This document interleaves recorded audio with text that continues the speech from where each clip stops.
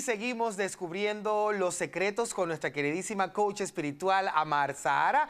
Y mi querida Amar Sahara, sé que estás por ahí conectada, te quería preguntar varias cosas, pero la verdad es que tengo muchas dudas, sobre todo con lo que está ocurriendo ahora entre República Dominicana y Haití, porque hay información de que han cerrado las fronteras y que estos dos países pues como que se han dividido. ¿Por qué dos tierras hermanos, además, porque son países hermanos que comparten el mismo territorio, han dividido de tal manera sus territorios, han, cerrado sus fronteras? ¿Qué está pasando y si esto va a seguir ocurriendo entre países hermanos? Bueno, mi vida, te voy a contar definitivamente ahora nosotros vamos a estar mirando con más frecuencia países que se separan, que se hermanan con otros o que se alinean con otros o tres países juntos. Estamos ver grandes cambios a nivel de mapa, a nivel de economía, también se va a estar dando, y bueno, eh, República Dominicana no va a ser la excepción.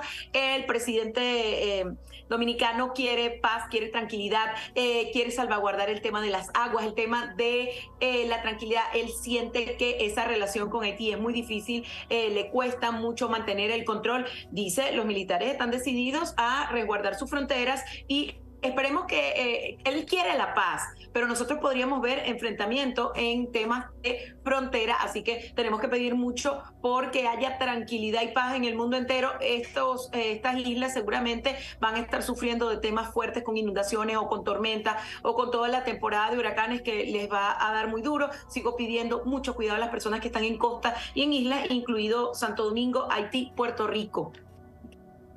Ay, mi querida Marsara, la verdad es que estamos muy preocupados y tenemos el corazón un poquito arrugado porque sí, son países hermanos que no deberían estar divididos y por sobre todas las cosas uno siempre busca cómo realmente pensar en la unión y, y en la hermandad.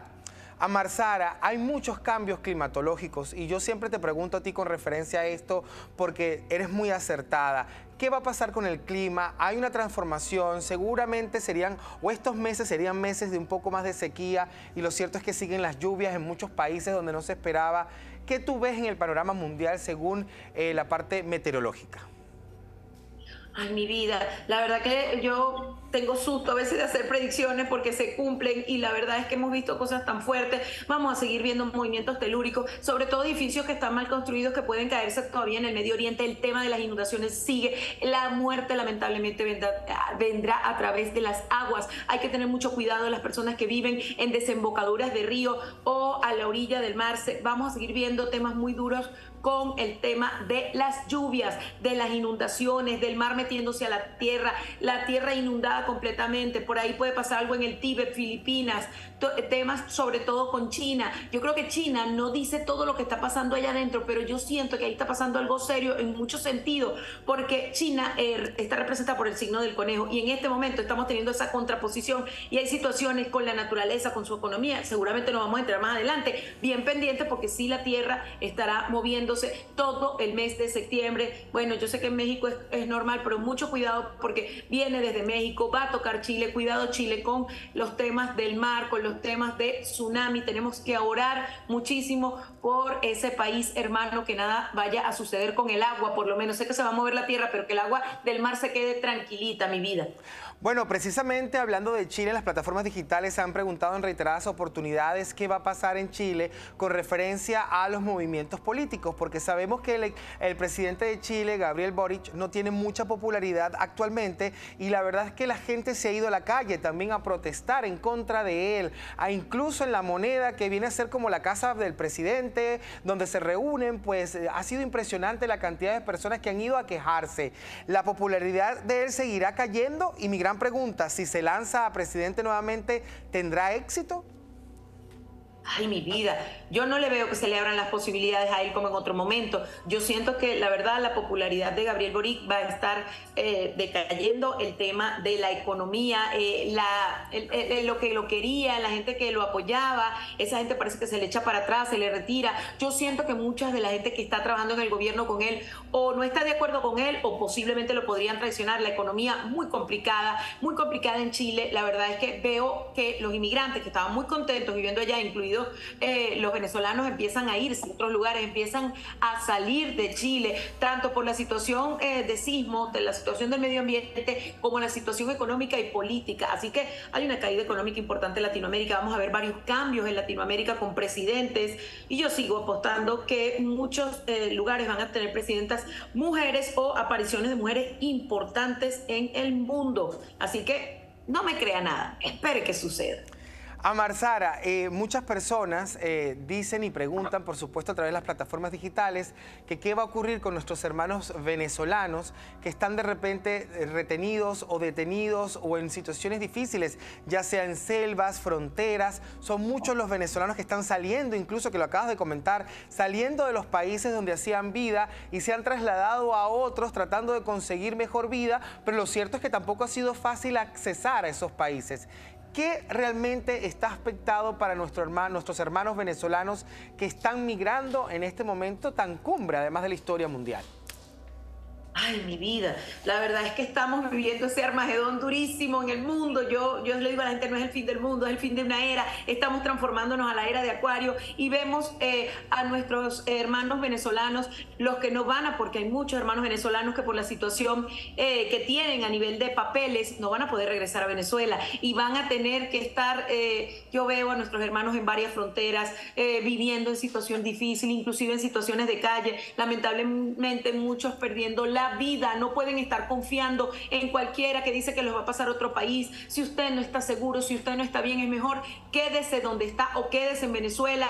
Eh, el tema del Dairén ha sido horrible, pero es que ya no pueden entrar a eh, todos, todos los venezolanos no se pueden ir a todos los países porque ¿cómo hacen los países para ayudarlos, para apoyarlos? Tienen que tener claro a dónde van, con qué van a trabajar, porque veo situaciones todavía de pérdida de la vida de inmigrantes en el mundo, sobre todo los que van a cruzar agua, los que tienen que cruzar ríos perdiendo la vida, ahogándose o en embarcaciones que van a zozobrar mi vida. Tienen que cuidarse mucho y pensarlo muy bien antes de salir de donde están.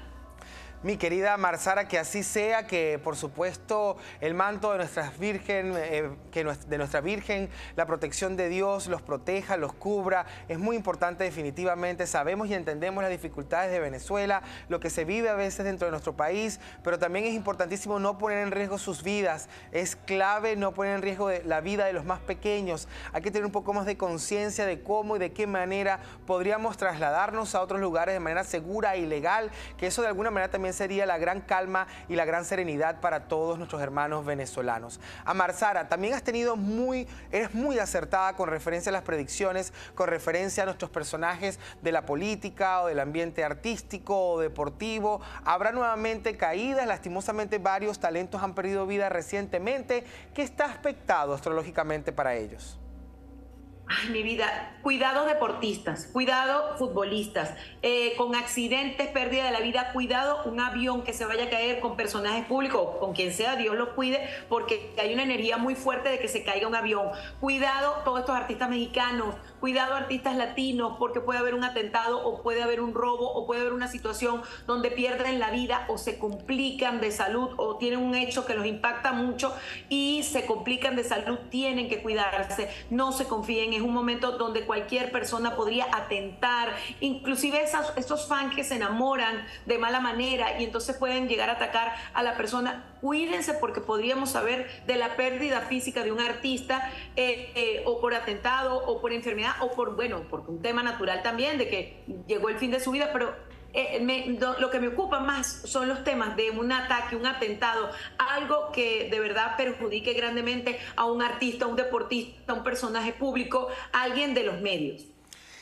Ay, Dios mío, Amar Sara, estaremos sumamente atentos porque tú eres muy acertada con este tema, pero bueno, eh, a través de las plataformas digitales siguen preguntando si realmente Nicolás Maduro al regreso de China y de Cuba traer algo bueno. Fíjate que la pregunta ha sido diferente. Quizás las personas esperan de Nicolás Maduro solamente cosas negativas, pero astrológicamente y en sus cartas aparece con algo positivo, traerá algo bueno para Venezuela cuando él regrese a nuestro país. Mira mi vida, hay algo muy importante. Después que se dé ese eclipse del 14, que será bien contundente, tres países se van a transformar completamente en muchos sentidos. Yo no estoy diciendo que eh, Nicolás Maduro va a salir de la presidencia. Lo que estoy diciendo es que los países como Venezuela, Estados Unidos, también em, el eh, Chile, Ecuador y Perú podrían estar metidos en los países que tienen mucha energía cáncer y se a transformar. Y definitivamente el tarot marca una gran transformación, intensa transformación, porque tuvo conversaciones que lo mueven mucho, que eh, lo van a hacer tomar decisiones importantes por el país, hacer un estado de conciencia y empezar a trabajar los problemas reales que tiene Venezuela.